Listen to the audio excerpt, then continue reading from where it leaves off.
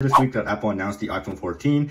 And of course, um, one of the big things that everybody was surprised is that Apple will be releasing the iPhone 14 without a SIM card tray in the US. But what about here in Canada?